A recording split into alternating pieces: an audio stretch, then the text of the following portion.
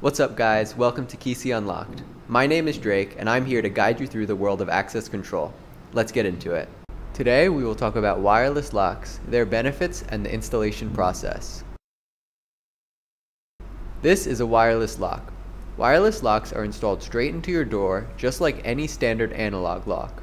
The only difference is that they have some added electronics built in. They are usually battery powered and they connect to the internet via Wi-Fi. Kisi has an integration with Allegion wireless locks, bringing the power of the Kisi system to the convenience of wireless locks.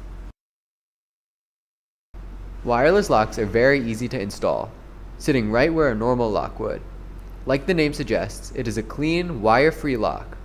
No wires need to be run. With a lock like the Allegion Schlage NDE, you can connect to the Kisi access control system and harness all the benefits that come along with it. The main benefit of wireless locks is their ease of installation. You usually don't need to drill into your door or the frame. They are also obviously wire-free, making it a good looking solution. With Allegion wireless locks, you can connect to the Kisi system, taking advantage of everything it has to offer. For this installation, you will need a Kisi Controller Pro 1, an Allegion Schlage NDE wireless lock, an Allegion Schlage GWE gateway, and a small flathead screwdriver. Note that the Kisi Controller Pro 2 does not currently support wireless locks. Be sure to unplug the controller before wiring anything. First, you will need to wire the gateway to the controller. Identify the RS485 ports on the bottom left side of the controller. Wire the GND port of the gateway to the GND port of the controller. Wire the TX negative port of the gateway to the A port of the controller. Finally, wire the RX positive port of the gateway to the B port of the controller. Connect the gateway and the controller to power. The order in which you do this does not matter.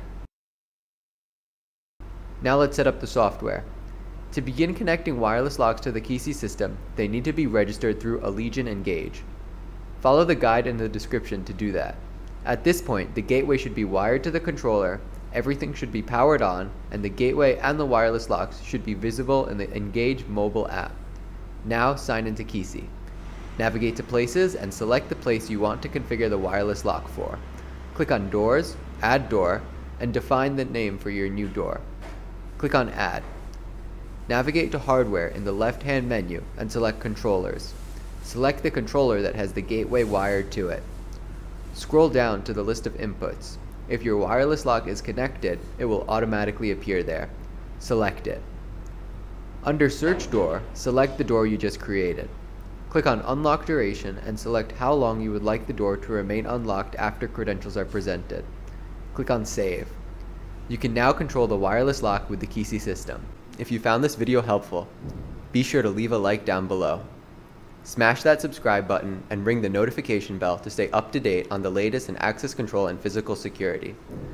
Leave a comment if you have any questions and we'll try our best to get back to you. Thanks for watching.